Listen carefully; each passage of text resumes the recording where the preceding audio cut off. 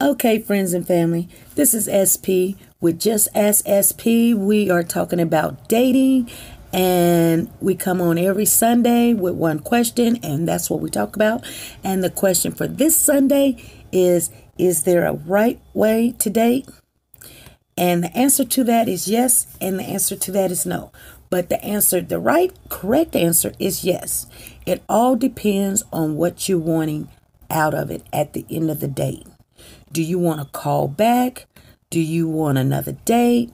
Do you want to become into a relationship? Do you want a monogamous relationship?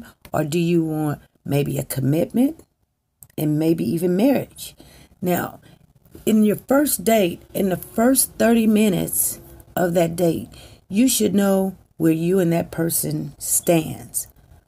So, if you're looking for more than just a date, and and not not bringing it out at the front end of the date, but just keep it down below. You should know what you're wanting out of this date.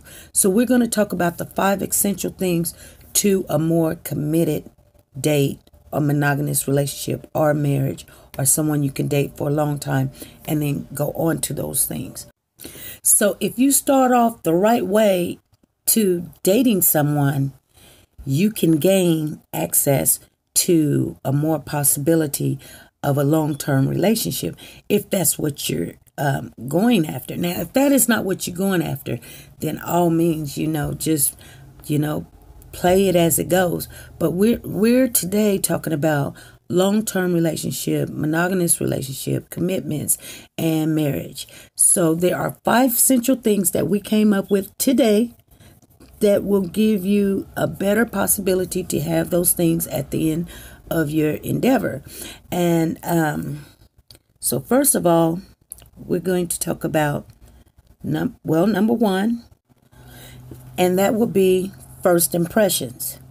Now, first impressions is number one. And the reason why first impressions is number one is because a person's going to know if they want to deal with you, if they like you, if they don't like you. It may be your size. You may be, you know, like some women don't like to date short men, or sometimes women don't like to, uh, uh, women don't like to date someone of this color or this shade or this race or nationality or something or men may not like to date a woman of this race or this color or this nationality or the size of you. It could be you're too thick or you're too small you you too skinny you or whatever. First impressions play in that role.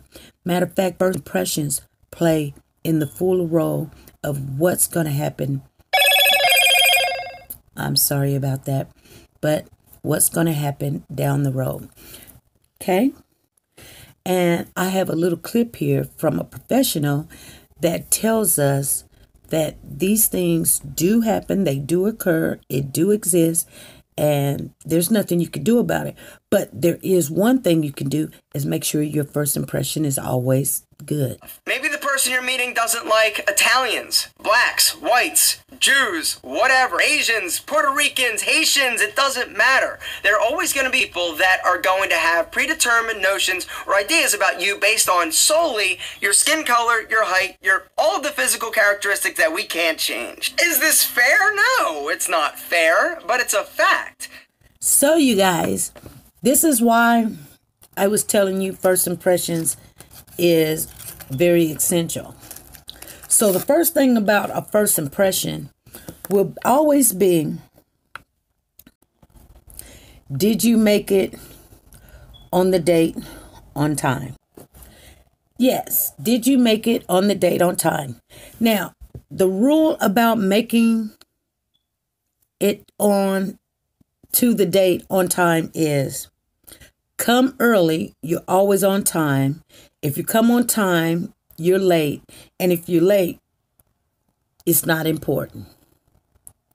See what I'm saying? If you if you come early, you're on time. If you come on time, you're late. And if you're late, don't worry about it. Okay? It works. Okay. So first thing is impression, first impression. The second thing is to always show up on time. And the third thing here is confidence. Sometimes people can see your confidence without you saying, I'm a very confident person. You don't have to tell people you're confident. They can tell by the way you present yourself, you know. Uh, you know, your hair's done, your eye contact, um, just just by your your physical body language, you know, the way you stand. Be confident and always know what you want to talk about or know what you like. Tell them you know what you like. And we talked about that in the last video last sunday. So if you don't remember what we talked about go back over there in last sunday's video and and watch that.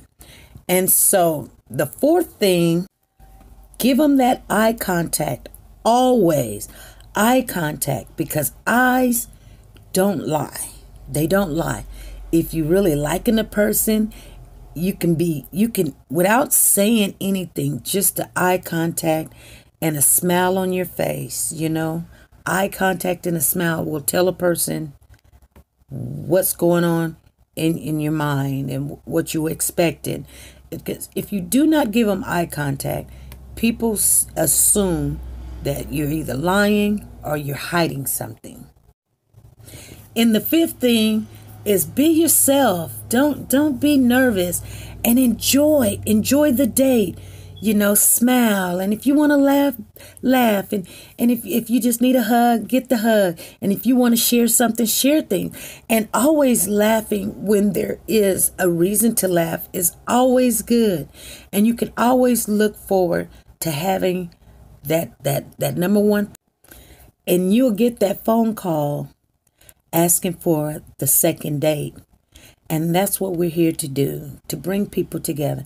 I hope you guys enjoyed the video and um, hit that subscription button. And next Sunday, we'll come with another question. And if you have a question, leave it down below and I'll get to it. Bye.